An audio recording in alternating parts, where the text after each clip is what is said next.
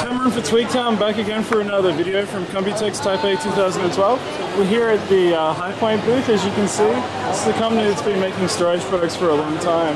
Uh, now, what they're showing here is uh, Thunderbolt. They're calling it uh, Rocket Thunder.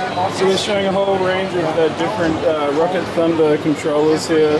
Thunderbolt to SATA, Thunderbolt to PCI Express modules, all types of different uh, controllers here. So, what I really like, what a consumer I think is really going to like, is this uh, dual SATA 60 dock, which is running on a uh, Thunderbolt connector here, as you can see. It's a dual dual port SATA SATA connector here.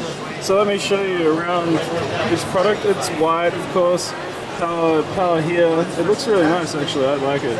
Um, some LED activity lights here as you can see. Moving around, this is the Thunderbolt connector here and power.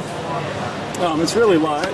It's just made of plastic, glossy um, plastic finish, but it's um, it's quite nice. I actually really like it. Um, now they've also got uh, a whole lot of optical Thunderbolt cable here, as you can see. But yeah, this has been our quick look at the uh, RocketStor 5212 from Highpoint, uh, the dual SATA 6G dock.